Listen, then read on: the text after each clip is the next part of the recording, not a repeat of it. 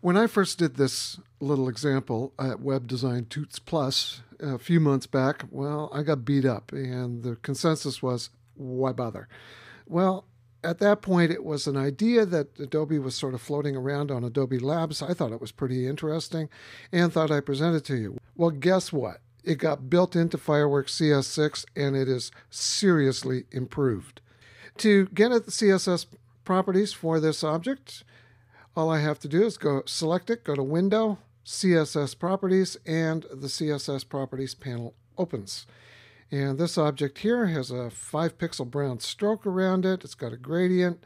You notice it's got a rounded edge and it's also got a drop shadow. And when I select it, all the properties appear. Now you can choose to export some or all of the properties. If you just want to export some of them, you can just hold down the Shift key and select the ones you want. Or if you want to select individual properties, just hold down the Command or the Control key, select the properties you want to export, and those will be the ones that go. Okay, I'm going to deselect, select again.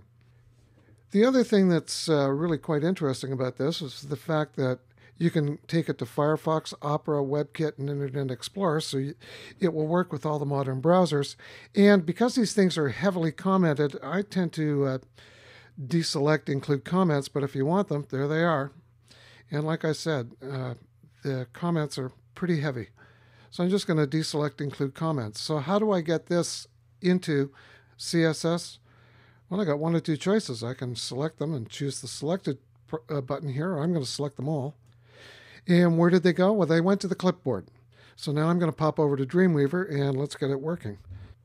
So I'm over in Dreamweaver. I'm just going to press the return key. I'm in split view, so I'm uh, over on the code side of the fence. And I just copy and paste Control V or Command V. There it is. Click refresh, and there's my box. Now I notice the rounded corners are missing.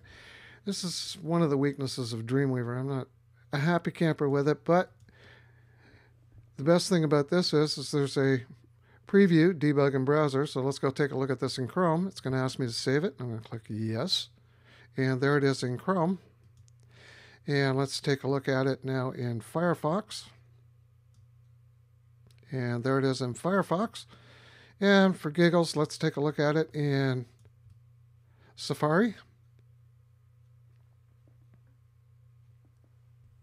And there it is in Safari.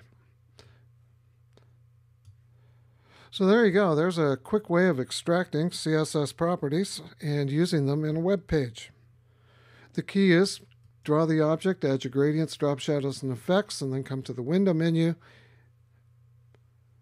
and select CSS properties in the window menu. Once the properties panel opens, you can select the properties you want, the individual properties you want, or just select it all, copy it to the clipboard, and paste it into your CSS.